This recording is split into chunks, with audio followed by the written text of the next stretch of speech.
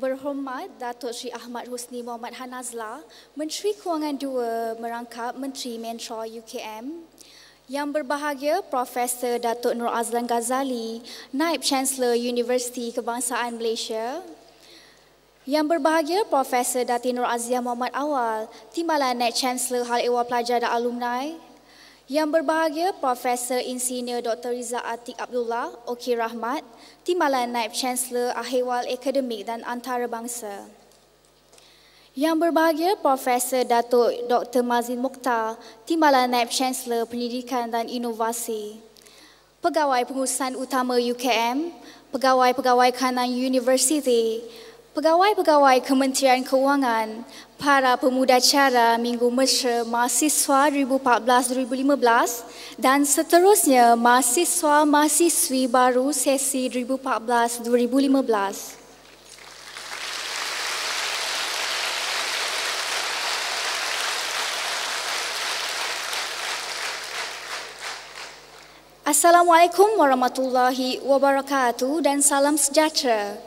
Terlebih dahulu, marilah kita merafakkan rasa syukur kehadirat Allah Subhanahu Wa Taala kerana dengan limpah berkat dan keizin, keizinan daripadanya dapatlah kita bersama-sama pada malam ini dalam majlis Minggu Mesra Mahasiswa sesi 2014-2015 Universiti Kebangsaan Malaysia.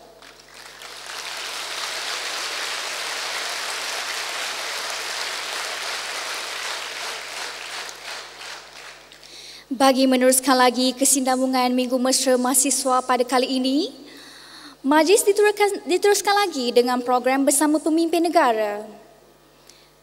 Bunga mawar cantik tersemat, dipetik gadis di tepi titi, doa dibaca memohon rahmat, semoga majlis sentiasa diberkati. Bagi memperoleh keberkatan majlis pada malam ini, majlis menjemput saudara Asri Tarmizi untuk menyempurnakan bacaan doa. Majlis dengan ini mempersilakan. A'udzubillahiminasyaitonirrajim. Bismillahirrahmanirrahim. Alhamdulillahirrabbilalamin. Wassalatu wassalam ala ashrafil anbiya wal mursalin wa ala alihi wa sahbihi ajma'in. اللهم إنك خلق العظيم إنك سميع العليم إنك غفور رحيم إنك رب العرش العظيم إنك رب الجواد الكريم اللهم يا كريم يا رحيم Ya Tuhan yang maha pemurah lagi maha menyayang Kami menzahirkan kesyukuran kami kepadamu Ya Allah Kerana dengan keizinanmu kami dapat berhimpun di malam ini Dalam dialog bersama pemimpin Sempena Minggu Mesra Pelajar 2014-2015 kami memohon kepadamu, Ya Allah, limpahkanlah taufik, hidayah, petunjuk dan inayahmu kepada kami khususnya. Mudah-mudahan perhimpunan kami ini menjadi suatu perhimpunan yang engkau redai dan engkau rahmati. Ya Allah, Ya Tuhan kami, limpahikanlah kami rahmat dan insan kepada kami dalam menjalani kehidupan yang penuh dengan tugas dan kewajipan. Kurniakanlah kepada kami nikmat dan kesejahteraan dan keselamatan kesihatan dan kesempurnaan agar mendapat kami berusaha menuju ke arah pembangunan dan kemakmuran. Hindarilah, hindarilah kami daripada sesuatu yang boleh menjejaskan kesejahteraan perpaduan kami.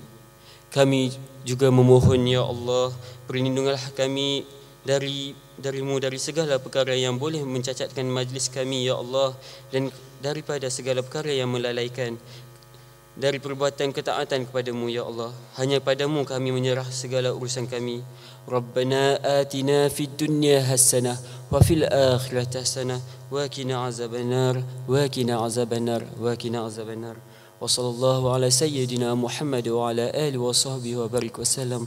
Walhamdulillahi rabbil alamin Amin amin ya rabbal alamin semoga dengan bacaan itu tadi majlis kita akan diberkati insyaallah Majlis diteruskan lagi dengan menjemput yang berbahagia Profesor Datuk Dr. Nur Azlan Ghazali, Naib Chancellor Universiti Kebangsaan Malaysia untuk menyampaikan sepatah dua kata. Majlis dengan ini mempersilakan.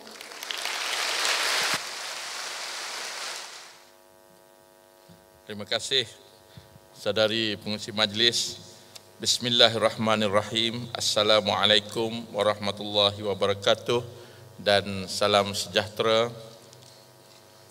Yang berhormat Datuk Seri Ahmad Husni Muhammad Hanazlah, Menteri Keuangan II merangkap Menteri Mentor Universiti Kebangsaan Malaysia. Rakan-rakan timbalan-timbalan naik chancellor, pegawai-pegawai kanan, pengetua-pengetua kolej kediaman, para pemudah cara Minggu Mesra Mahasiswa serta para pelajar yang dikasihi sekalian. Alhamdulillah kita bersyukur kehadrat Allah SWT dengan limpah kurnianya kita dapat berkumpul dalam satu majlis yang begitu bermakna, majlis yang setiap tahun kita akan adakan iaitu dialog bersama pemimpin negara.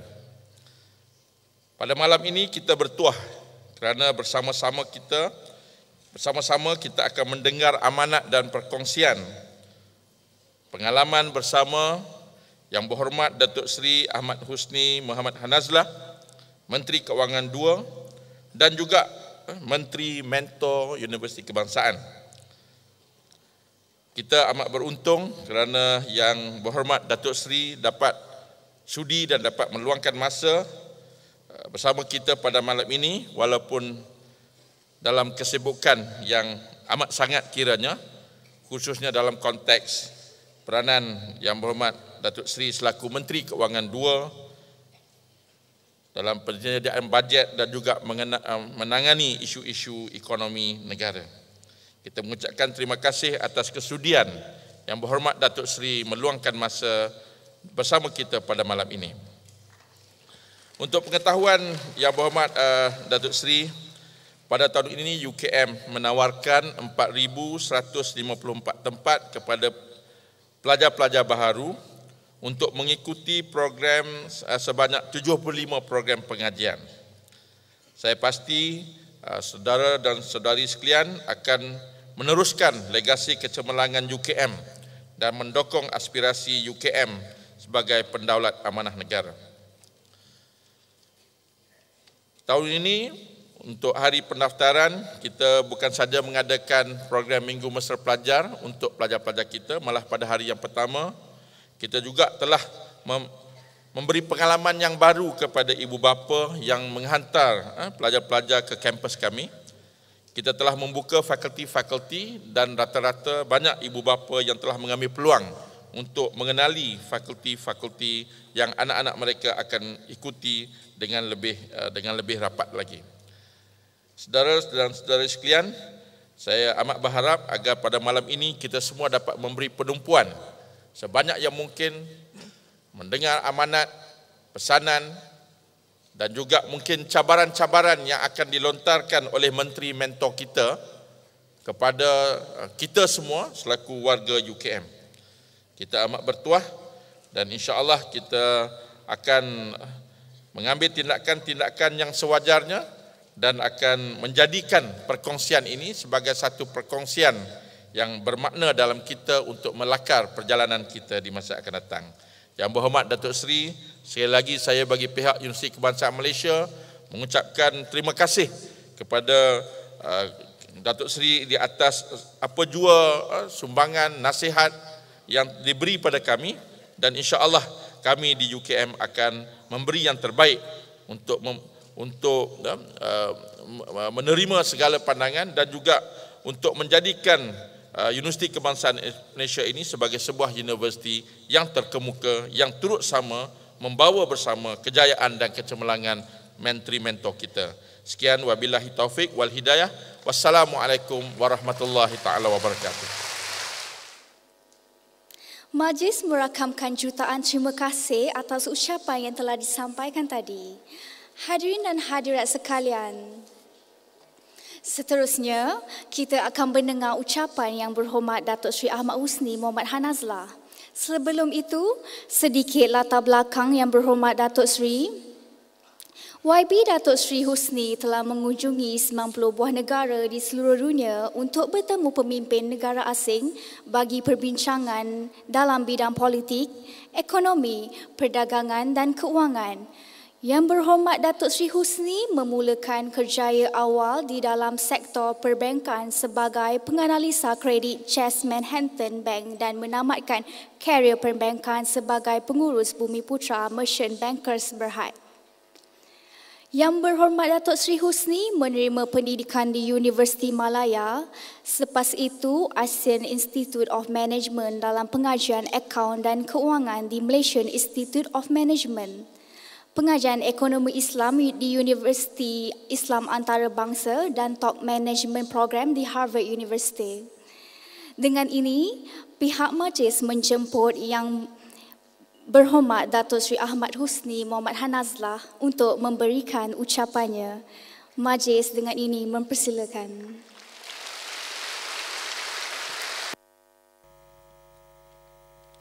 Assalamualaikum warahmatullahi wabarakatuh. Salam sejahtera. Yang kita kasih Profesor Datuk Dr. Noor Azlan Ghazali. NEP Chancellor Universiti Kebangsaan Malaysia. Yang bagi Profesor Datin Nur Aziah Muhammad Awal, Timbalan NEP Chancellor Hewan Pelajar dan Alumni. Yang bagi Profesor Insinyur Dr. Rizatik Abdullah, Timbalan NEP Chancellor Hewan Akademik dan Antarabangsa. Yang bahagia Profesor Datuk Dr. Mazlin Mukhtar, Timbalan Naib Chancellor Penyelidikan dan Inovasi Pegawai Pengurusan Utama UKM Dekan-dekan Fakulti Pengarah-pengarah institusi pengetua-pengetua Kolej Kediaman Pegawai-pegawai kanan Universiti Para pemudah cara Minggu Mesra Mahasiswa 2014-2015 Seterusnya pelajar-pelajar baru sesi 2014-2015. Terlebih dahulu saya bersyukur dapat bertemu semua. Saya bertuah uh, kerana bertemu dengan saudara-saudari. Saudara-saudari yang bertuah berada di Universiti Kebangsaan Malaysia. Permohonan diterima untuk memasuki Universiti Kebangsaan Malaysia 37,000 pemohon. Yang diterima yang sekarang ni dalam dewan ni 3500. Bermakna saudara-saudari merupakan 10% daripada 37,000 pemohon.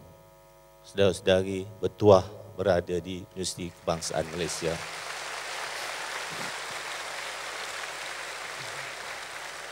Saya berharap kita gunakan secara optimum masa di universiti ini. Because hidup kita ni satu perjalanan, you are here now. Lima tahun kemudian, sepuluh tahun, dua puluh tahun, tiga puluh tahun. Yang penting sekarang. Sekarang menentukan masa depan.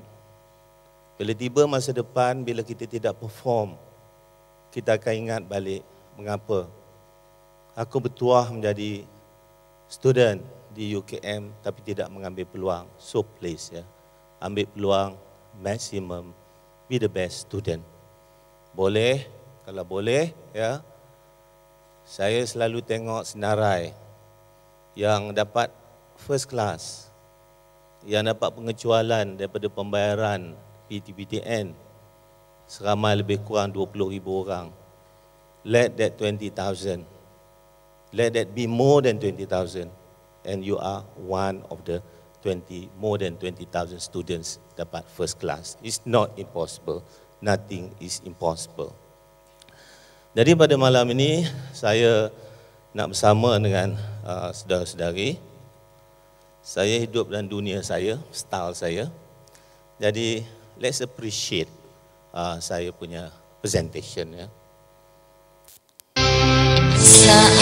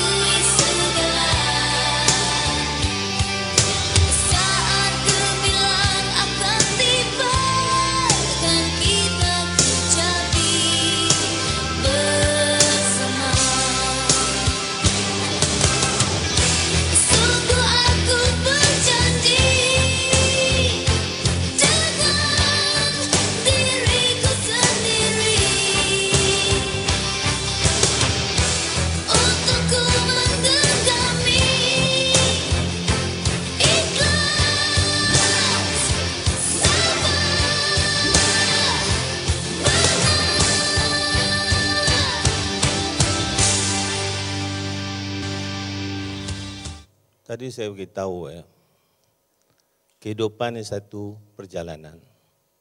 You are now here to prepare for the future. Jadi saya kata, maximize your presence here. Lagu ini menceritakan tentang mencari saat kegemilangan. Ya, so please, kita cari saat kegemilangan kita.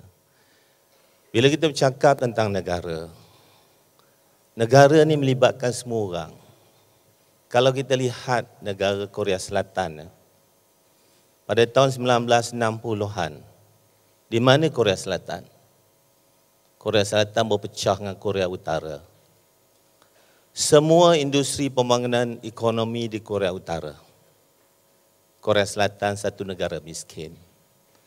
Pada masa itu pendapatan per kapita kita 350 US dollars.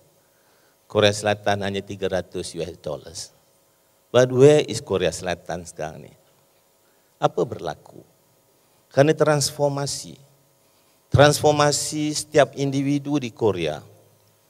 Kalau kita pergi Korea sekarang, kalau anak masuk sekolah atau universiti, siapa yang belajar untuk, ah, siapa yang bayar untuk pelajaran anak-anak mereka? Will be the parents. Ibu bapa akan terlibat membangunkan pekerja akan terlibat secara serius dalam tugas dan tanggungjawab. Mana dalam pertumbuhan satu negara, bukan kerajaan. Bukannya syarikat swasta, is everybody. Saya cerita ya satu hari ya. Satu hari rimau ni tangkap tikus. Ya rimau tangkap tikus, Rimau nak makan tikus. Tikus kata lepaskan saya. Lepas itu tikus tikus rimau tanya pasal apa nak lepaskan saya? Nak lepaskan kamu. Tikus kata, satu hari saya akan tolong kamu. Dan kata rimau, kamu nak tolong aku siapa? Aku bos di hutan ni. Dalam rimau ketawa, tikus terlepas. Satu hari rimau kena tangkap, kena ikat. Daripada kena ikat sampai malam tak lepas. Pukul 10 malam, datang tikus, dia gigit tali tu. Perlahan-lahan pukul 5 terlepaslah harimau. Siapa hero di sini? Everybody. Harimau pun hero. So dalam konteks negara kita, siapa hero? Datuk Najib hero, saya hero, profesor kita hero, you are all heroes of the country. Jadi setiap individu, every one of us must contribute towards that. Saya nak ajak kita dengar ucapan. Ini tidak disiarkan mana. Ucapan PM ni dalam bahasa Inggeris tidak disiarkan di mana. Saya nak minta kita kongsi, kita tengok betul-betul. Selepas itu ada summary ucapan beliau. Assalamualaikum warahmatullahi wabarakatuh dan salam satu Malaysia. 55 years is a long time, but in the history of a nation, it is rather short. As a young nation, we have come a long way. Our passion and commitment reflects the spirited strides of a confident youth. We have generated wealth for our nation and ensured a comfortable existence for our people we have built one of the best infrastructures in the ASEAN region. We have showed the world our strong and resilient economic fundamentals by remaining unscathed during a global economic recession since 2008. We are today one of the largest economy in the ASEAN region with a GDP of 936 billion ringgit and it is growing at a healthy pace. But we are a young nation and like all young people, we have dreams, hopes, and aspirations, and belief of a better future, a better tomorrow for our citizens and the future generations to come. That better future is to be a high income, fully developed nation by 2020. I have always believed in this future. I want to realize this tomorrow for our generations to come. Today, as the leader of this nation, I'm reaching out to you to become partners in making this future a reality. to be part of the journey to make Malaysia a nation of shared opportunities, shared responsibilities, shared prosperity, and a shared sense of community. See yourself not just as a leader, but as a representative of a young, restless, and ambitious country that's determined to craft a bigger destiny for itself and greatness for its people. A land where together we grow, together we prosper, and together we shall achieve greatness. Today, I ask you to walk with me to make our great nation run. I can't do this myself. No one individual or institution can. But together, you and I, we can make it happen. Together, we can make our citizens and a global community to see Malaysia as a land of endless possibilities. It can be achieved if we can make every Malaysian believe in the possibilities that exist. We are greater than the sum of our individual ambitions. We are a nation of 29 million possibilities. Together with your help, we will inspire our people to find their inner greatness and make Malaysia shine on the world stage. We are endless possibilities. Thank you.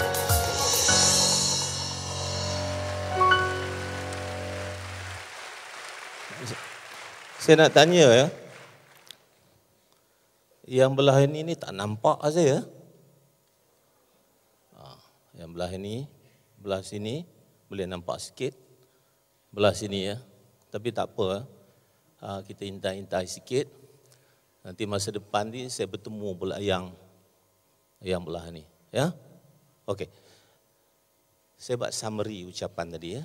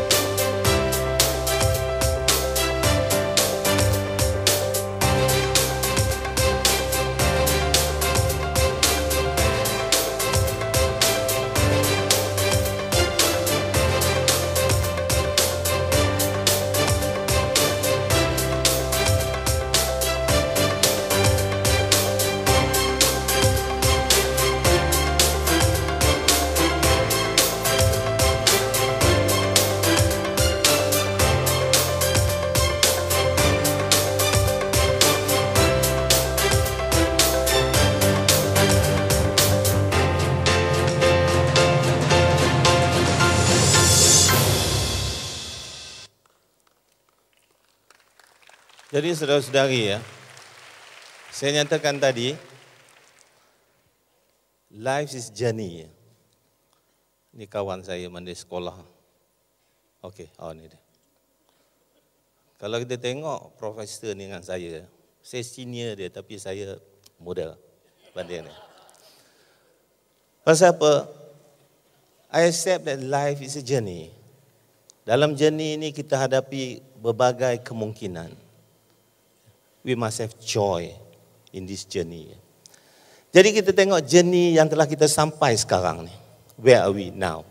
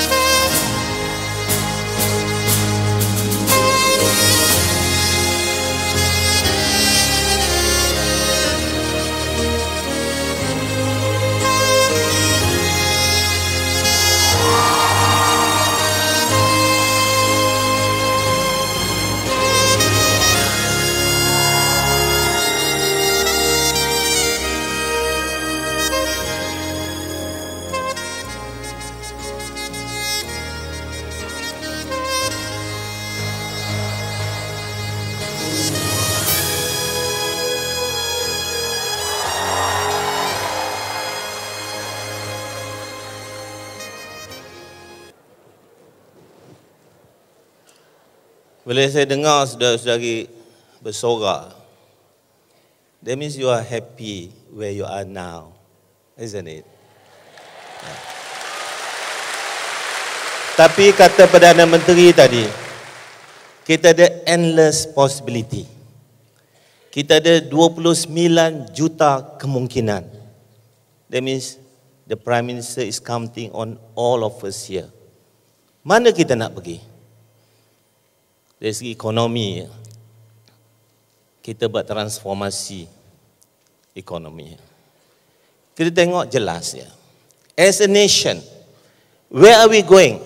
Ini pendapatan per capita we going we are currently 10,000 US dollars pendapatan per capita we are going to raise it to 15,000 15,000 US dollars tu maknanya in 2020 Malaysia akan menjadi negara maju. Kita tengok 10,000 US dollars. To me what does it mean? Saya nak bercerita dengan saudara-saudari. My father, bapa saya umur 93 tahun, passed away 6 months ago.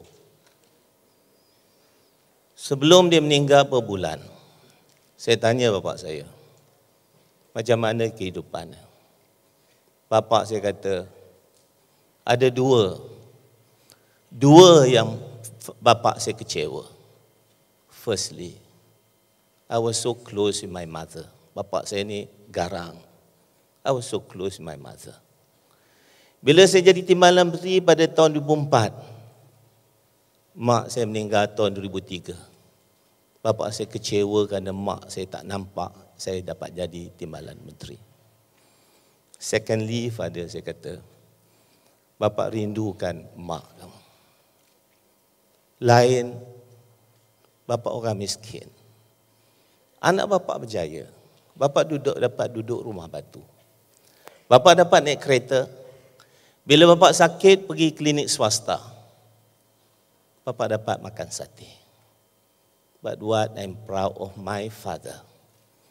When I was small in 1960s, saya kata tadi, pendapatan per capita kita 350 US dollars. Bila bapa saya meninggal 10 apa 6 bulan lalu, our per capita income reach US 10,000 US dollars. Ya. Jadi mana generasi bapa saya telah berjaya angkat. Now my generation nak angkat pula kepada 15,000. Dia tak renti situ. Your generation pula angkat lagi. 20, 30, 40. That's why you are here now. Yang saya kata tadi 37 ribu memohon. Yang ditawarkan 4 ribu. Yang hadir sini 3,500. I have high hopes on all of you. I've got four children, besar, sedar-sedari. I've got three cucu, satu umur lima tahun, satu umur dua tahun, satu umur sembilan bulan.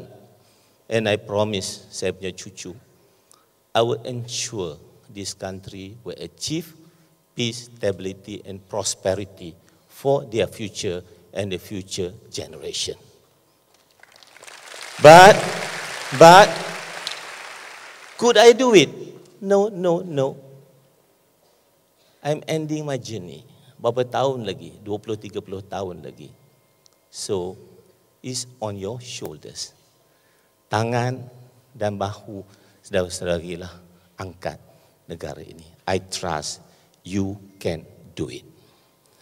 Dari segi gross national income kita, angkat daripada ini 1.1 trillion to 1.7 trillion. GNI means what? Means the money circulated in our country. Yang milik kerajaan, milik swasta dan milik kita sebagai pekerja-pekerja ataupun sebagai pelajar yang dapat biasiswa ataupun pinjaman pendidikan. On personal basis, this is the position. Sekarang ni yang pendapatan 2,000 hingga 7,000 kita ada 8 million, is it? 4.6 million. We will raise it to 8 million by 2020. Yang above of 7,000 ringgit per month, kita ada 500,000, we will raise it to 2 million. To do that, we have to raise the percentage of wages over GNP daripada 32% to 39%. We can do it. Saya tengok, saya tak ada bawa statistik sini ya. Saya tengok statistik pendapatan isi keluarga 2012-2014 drastic change. Means we can do it. Itu yang yang kita ini.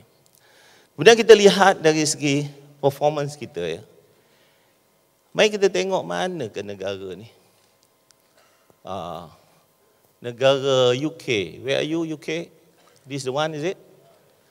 Tengok dia pernah mentah negara kita? Second quarter dapat 0. or 3.1 percent. Japan where are you? Japan? Negative 0.1 dia pernah perintah kita? Itu pasal masa saya pergi Jepun dia bagi liaison officer budak perempuan seorang. Saya teringat masa zaman Jepun dulu tok saya kena sepak Kena tempeling orang Jepun. Saya kata saya tak payah tempeling awak. I will torture you. Jadi masa saya nak keluar kereta, nak pergi, saya naik kereta pergi ke Pekan. Dia kata, no, we cannot go, sir. Sebab apa? Dia kata ada demonstrasi. How many people? 12 people. Saya tu pergilah. What is 12 people? Dia duduk telefon-telefon setengah jam, stuck there. Bila dia dah melekat tak itu, saya penjalan kaki. Bila jalan kaki ditahan suruh pergi, saya kata, no, no, no, no, I'm not going to the city now because of you. Menangis, nangis, nangis, nangis. Sampai hotel, dia menangis, nangis, nangis. Minta maaf saya, no, saya kata, menangis, nangis, nangis. Saya nak balik malam pergi airport, menangis, nangis, nangis.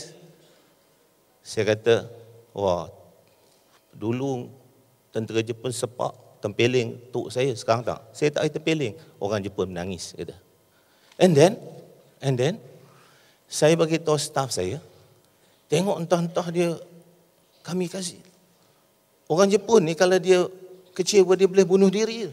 Saya kata cek nanti dia bunuh diri. Saya cek seminggu pun tak ada bunuh diri. Alhamdulillah. Kalau tidak saya kena tangkap. So, this country achieving berapa persen? Semua rendah. Yeah? Except China ni 7.5 persen. Malaysia we still achieve 6.4% among the highest in the world. Ini yang telah kita capai. Ha? Tentu kita tengok pula. Dari segi saya kata tadi, 15,000 ni kita akan capai 2020 bila kita tengok projection kita. Awal projection kita 9,700 lebih kurang. Kita achieve more than that in 2013, 10,000. So I believe tak sampai tahun 2020 kita akan capai 15 ribu US dollars, kita akan dikategorikan sebagai negara maju. But that's not the end, that's the beginning of another journey. Competing with high income economy for our country to be the best among the best. Ini kita punya apa?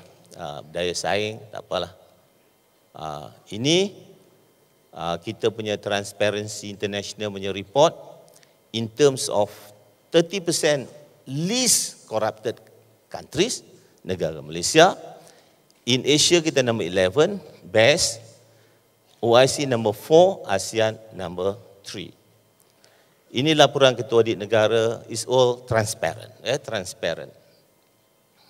Kita punya tender sekarang ni sejak saya sejak PM jadi Menteri Kewangan satu, saya dua, kita buat open tender. So, kita masuk dalam website, you can see siapa yang dapat projek ataupun tak dapat. Ya. This one we don't have to know lah. Ah, ini kita punya hutang negara. Singapura hutang, hutang dia 1 trillion. Di sini saya convert dalam ringgit. US 55 trillion. Japan 38 trillion. India 4 trillion. Uh, China 7 trillion, kita 539 billion among the lowest ya. Okay. Sekarang kita cakap tentang masa depan. Masa sekarang, masa depan. So masa depan ini, we have to transform further. So dalam transformation, we are introducing the GST untuk jaga kepentingan rakyat. Saya nak bagi tahu masa saya datang dulu, ada tanya saya, buku kena tak? Buku kena tak? Buku zero rated. Maknanya, students tak payah, tak dikenakan GST untuk buku. Mana zero rated, tidak dikenakan GST. So kita tengok ah, GST ni. Yang ni, saya nak bagi tahu cukai pendapatan, cukai korporat kita dah improve from years to years. Dari segi cukai penggunaan, mana sales service tax, kita tak pernah improve dia ada 1, 2, 3, 4, 5 langsung cukai tu. Itu pasal kita kenalkan GST supaya satu cukai saja, 6%. Kalau tidak, ini ada yang 5%, 10%, 6%, 11%, 60%. It's so confusing. Banyak negara dah, 160 negara dah buat GST. And some of the countries pendapatan per capita even below, sampai ada below 1,000 US. Contoh saya ni ya, kita tengok. Negara Kongo, tahun berapa orang Malaysia pergi Kongo tu? 60-an ya. Kita jaga Kongo. Kongo pendapatan per capita is only 190 US dollars. Dia punya GST rate 16%. Kita 6%. Ini semua below of 1000 US dollars. Kita more than 10000 US dollars. Okey kita tengok ya. Saya buat Burkina Faso because saya dah pernah pergi Burkina Faso. Mari kita tengok macam mana kehidupan di Burkina Faso.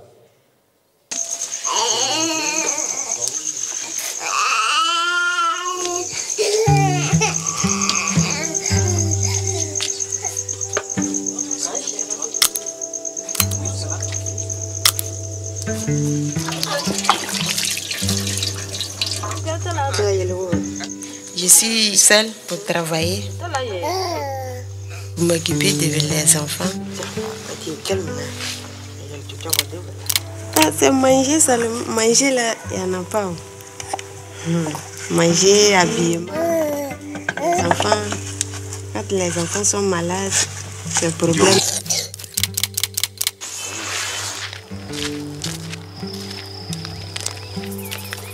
Les jours que je suis quittée à l'hôpital avec l'enfant, quand je suis arrivée à Samba, je la première dans le bras. Uh-uh. Alexis. Ils m'ont dit que l'enfant est malade. Bonjour, 52. On nous a donné des comprimés. Je suis revenue à la maison.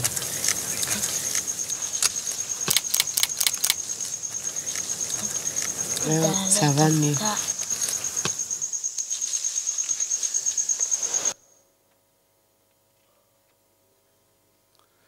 Saya pergi Burkina Faso eh. Saya ambil Burkina Faso pasal saya pergi sana. Ini adalah typical lifestyle of citizens of Burkina Faso. Kalau saudara-saudari tengok muka saya, cuba tengok muka saya. Ya, jangan tidur tengok. Tengok betul-betul. Saya bukan nak tanya saya handsome. Tidak, kalau saya tanya mesti kata semua handsome kan? Bukan ke tengok muka saya ni saya orang baik, betul tak? Ha. Jadi bila saya pergi Burkina Faso, saya ajak driver tu makan dengan saya. Dia pegang ayam tu. Lima minit dia cium ayam tu. Saya tanya dia pasal apa cium ayam tu. Lima, lima minit dia cium, umur 32. Dia kata dia tak pernah sentuh lauk dalam hidup dia sampai umur 32 tahun. Yang dia makan kush-kush. Kush-kush ni apa? Sagu. Dia buat macam dia buat macam apa? Tepung tapi kasar sikit. Letak kuah. Dia makan hari Ahad pukul 12. Petang dia tak makan, malam tak makan. Isnin seluruh hari sampai malam tak makan. Selasa pukul 12 makan. Makan Selasa sampai malam. Rabu tak makan. Kamis makan. Jadi sebagian besar orang duduk Burkina Faso makan 4 kali seminggu. Saya pun malu Malaysia makan 7 kali sehari. Itu pasal banyak. But this is the truth. Jadi kalau orang Burkina Faso boleh buat GST 18%. Pendapatan per kapita just 800 ring 800 US dollars. Apalah negara kita ni tak boleh buat. The problem is basically. Ah, ini saya nak tunjuk eh. Saya nak tunjuk dulu. Ini saya tunjuk pasal apa? Ni. Pasal apa adik? Pasal apa ni? Ya? Adik-adik pelajar perempuan pakai tudung, cantik tak? Kepada orang miskin di Burkina Faso, apa yang bagi kebahagiaan pada mereka? Nothing. Yang bagi kebahagiaan mereka inilah. Buat muka ni. And then bila tanya, Sir, how do I look like? Oh, you look so pretty. Uh, dua, tiga minggu happy. This is what life is. I've been to almost 90 countries. Termasuk Amerika yang ekonomi terbesar. 10 million people yang homeless. Bila musim salji duduk dalam kereta rosak, duduk bawah dalam basement, mati berapa ribu orang. There is no perfection in this world. Saya naik kapal terbang beberapa kali, jumpa Malaysian. Ya. Baru ni saya pergi Sarawak. Dia ni pergi ke Australia, because dia member of the CPA Australia duduk sebelah saya. Dia kata, Dato, I'm from Kuching, I will never leave Kuching. I've traveled all over the world my country is the most beautiful country in the world. That is. Itu dia. Saya jumpa. Saya jumpa. Masa saya pergi Holland, bertemulah dengan orang Holland. Usahawan dia, ada seorang wanita Cina jumpa saya. Jumpa menangis. Saya kata, why? Dia kata, I miss Malaysia. I want to go back to Malaysia. Saya kata, duduk sini pasal apa? I'm married to kahwin pada dengan orang Belanda. I'm married to. He never allowed me to go back to Malaysia. Kata. I really love my country. Cuba bayang. Yeah. So, we are, we are doing ni, the problem with GST because ada orang yang kata GST ni 24%. Kalau 24%, kita punya kita punya inflasi be 18%. Can the country sustain? Kalau 18% lah orang akan beli makanan, makanan, makanan. Lain semua tak laku. Negara will collapse. That's the thing.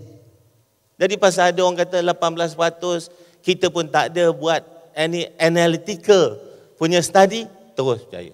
So, as I mentioned, ini GST ini is for us untuk kesejahteraan rakyat. Oi. And I'm going to So- tell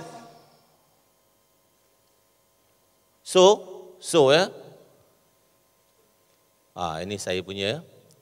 Apakah yang harus dilakukan oleh mahasiswa UKM?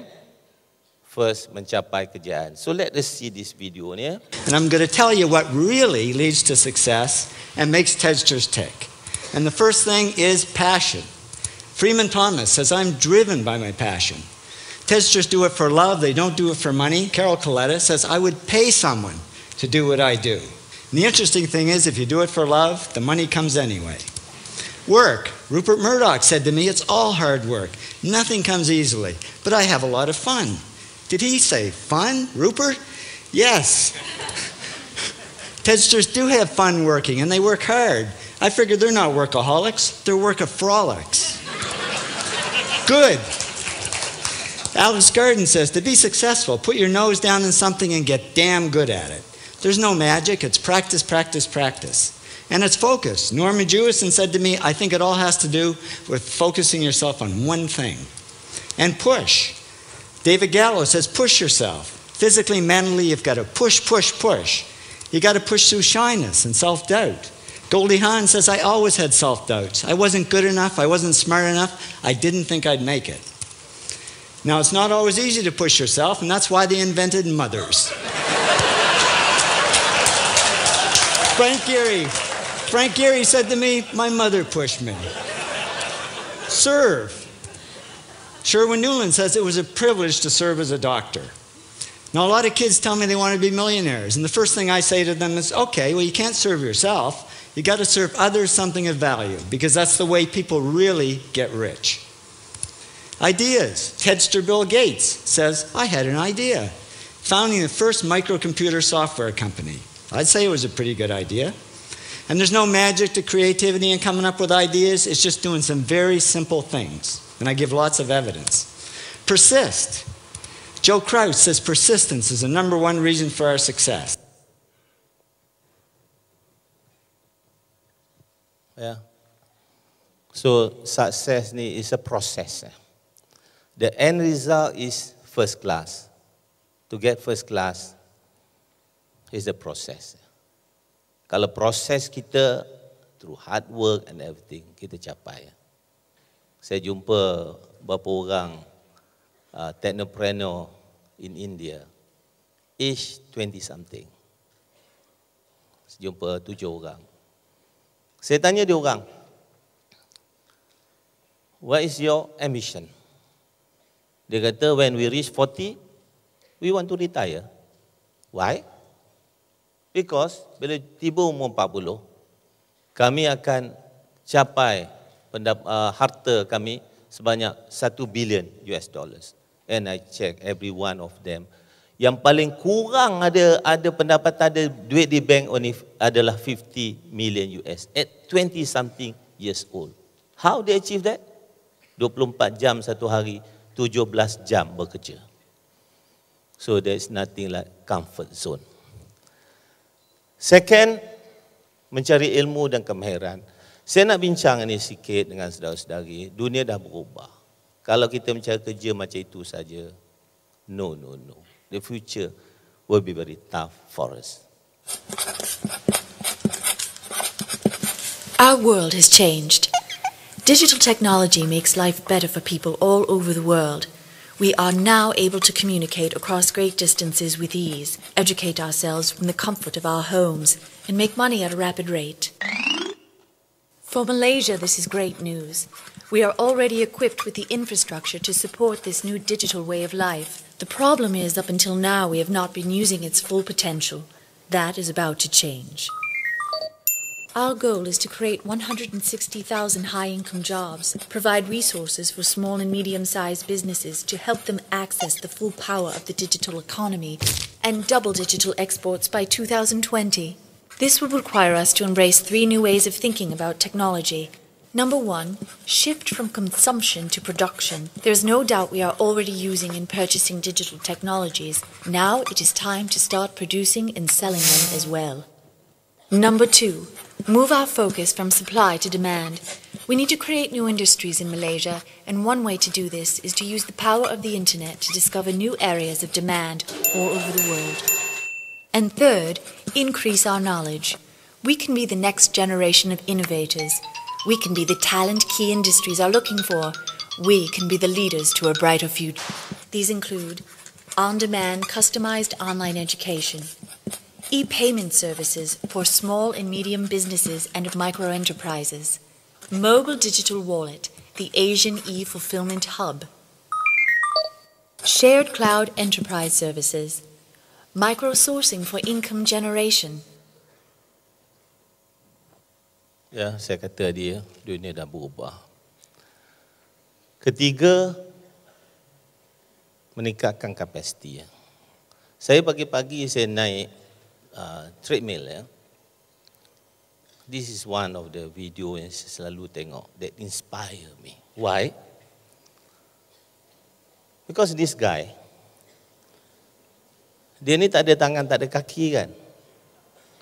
So for two years, for two years, parent, bapa dia bawa jumpa mak dia.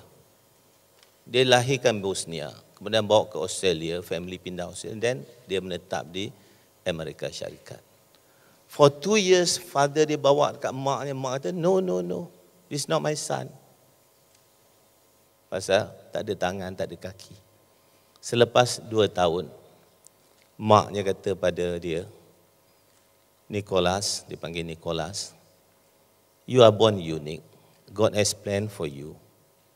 One day, you be a great person awak dilahirkan unik, Tuhan ada perancangan untuk awak. Satu hari awak akan jadi orang yang hebat. Jadi orang tak ada tangan, tak ada kaki ni, dia pergi sekolah tinggi ni je. Banding orang lain. Students, sekolah tu semua ketawakan dia. Satu hari, dia punya kaki ni dia panggil drumstick. Anjing nak makan. Semua orang ketawakan dia. Adakah dia putus asa? No, no, no. Dia kata pada diri dia, mak saya kata, saya dilahirkan unik. Satu hari, dan Tuhan ada perancangan untuk saya, satu hari saya akan jadi orang yang hebat. Thank you very much. Nice to see you. My name is Nick Vujicic and it's a pleasure to be with you. So I have no limbs, but I have my little chicken drumstick. And uh, So it's like. You like that? That would be really cool if I could get this and get some techno going like. Here we go. One, two,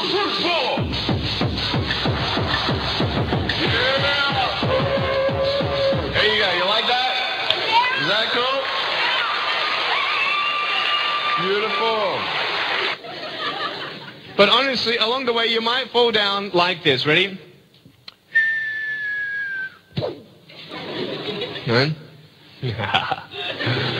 Hello. So what do you do when you fall down? Get back up. Everybody knows to get back up because if I start walking, I'm not going to get anywhere. But I tell you, there are some times in life where you fall down and you feel like you don't have the strength to get back up. Do you think you have hope? Because I tell you, I'm down here face down and I have no arms, no legs. It should be impossible for me to get back up, but it's not. You see, I will try 100 times to get up, and if I fail 100 times, if I fail and I give up, do you think that I'm ever going to get up? No. But if I fail, I try again and again and again. But I just want you to know that it's not the end. It matters how you're going to finish. Are you going to finish strong? And you will find that strength to get back up like this.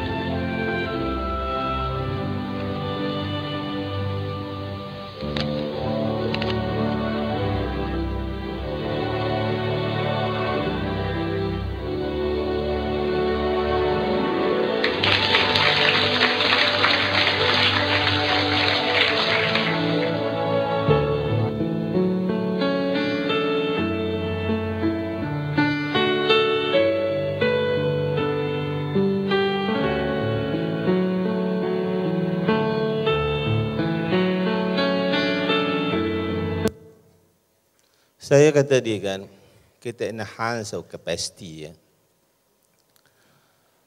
Saya pergi India, Indian Institute of Technology. Dia nak ambil student tu, dia buat exams. Hundred thousands of students melalui proses examination. Yang dapat masuk 5,000. Yang 5,000 tu pun, yang akhirnya yang dapat degree, only about 2005 saja yang lain fail because dia punya benchmarking very high. And then macam mana proses dia belajar tu? Orang ni duduk keluarga miskin. Kalau saudara-saudara pergi tengok rumah dia rumah buat dengan tanah liat ramai. Atap atap nipah tu. Lantai tak ada simen saya pergi bawa makan duduk dengan family dia orang. They don't have books. They will share one book five persons. Komputer satu komputer seven persons. Universiti dia macam rumah kedai bawa lepas kena bom. Perang dunia kedua. But they so successful. Kita pergi Silicon Valley. Four professors and four research orang one definitely from Indian Institute of Technology. So they raise dia punya capacity, dia belajar 24 hours, at least dia belajar 15, 16 hours a day. Mana balik kelas dia baca buku. Baca so many, so many areas kita baca. Buku filosofi, buku management, buku accounting, about so, so many. That's what they done and that's why they're successful. Bila dia pergi overseas, dia kata, I will come back Mother India. Itu pasal IT-nya banyak di di India tu. Dia balik dia outsourcing daripada Silicon Valley dia buat di Infos dia buat Infosys dan sebagainya. The fourth one, particularly my Muslimnya friends ya. Kita must strengthen our spiritual punya strength. Manusia ni ada tiga. Tiga perkara, tiga sifat dalam diri. Spiritual, mental, physical. You walk further, you walk faster. You will strengthen your mental. Dia punya asas is spiritual. Wife saya jatuh sakit early of this year at 5.45 am di dalam bilik air. Saya dengar bunyi jatuh. Saya pergi dekat pintu bila air, tak pernah saya dengar pernafasan yang begitu kuat. I call my wife, Fauzia, Fauzia, Fauzia. No reply. Saya ketuk pintu kuat, no reply. Saya ambil hammer, saya ketuk, buka. Saya nampak isteri saya tu. Saya angkat, saya letakkan baju. Who would help me at 5.45 a.m.? Who would help me? Kalau tidak, saya berdoa pada Allah. Tolonglah saya. So my wife pergi hospital buka ni. Buka dia punya tempurung. Dia punya urat darah tengah-tengah otak tu dibuka satu dia bocor ya. Dia punya father died because of that. Dia punya sister died because of that. She's the third in the family dapat penyakit yang sama. Dan letak balik tempurung 10 skru. And then went for second operation. Saya tengok punya teruk malam tu. Saya datang pagi-pagi 7.30 tengok wife saya tengah duduk tepi katil. Tengah makan. It's all spiritual strength. You can see the strength of apa penciptaan Allah yang begitu besar. Eh.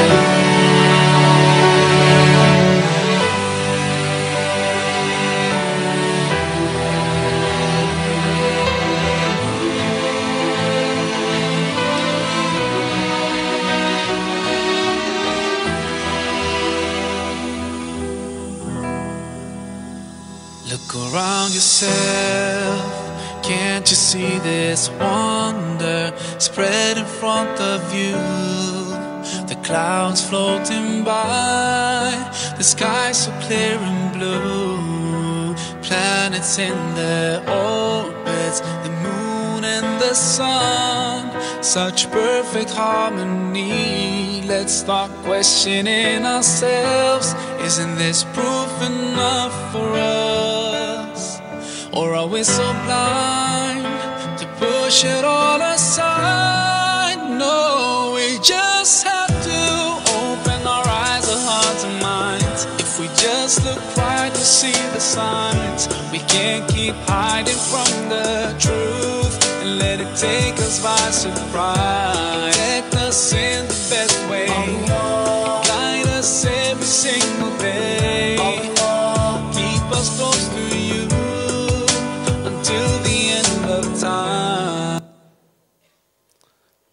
Kita tanya saintis ya.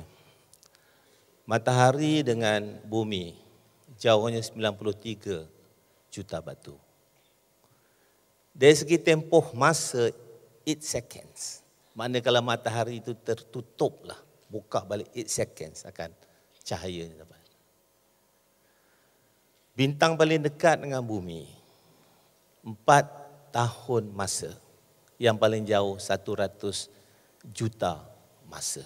Tahun masa. Begitulah besar alam yang kita duduk ni. Where is Husni Hanazlah, the second finance minister, the mentor of UKM? Besar habuk saja. So in the end, my Muslim friends, tadi Allah menentukan kekuatan kita ataupun tidak. So please, cinta kasih kita kepada Allah subhanahu wa ta'ala. This one, eh, you must work with each other. Work with each other to be successful. Kita nak angkat, uh, net chancellor kita nak angkat kata universiti ini setanding dengan universiti-universiti utama di dunia. Let's do it together. Yeah. You can do it. Let's do it together. Jadi penutup, uh, let us enjoy this. Ya.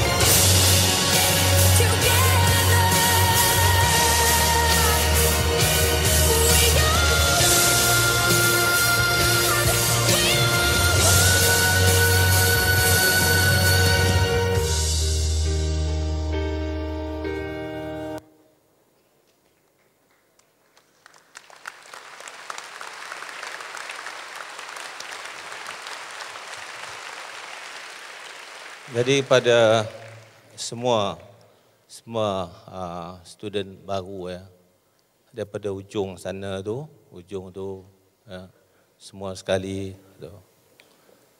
Sini semua I have high hopes on you, my expectation begitu tinggi. I believe you will achieve greatness. Saudara-saudari akan angkat negara ni lebih tinggi daripada yang saya mampu angkat pada masa ini. So I'd like to thank you. Saya bertuah bertemu dengan saudara-saudari semua. Wassalamualaikum warahmatullahi wabarakatuh.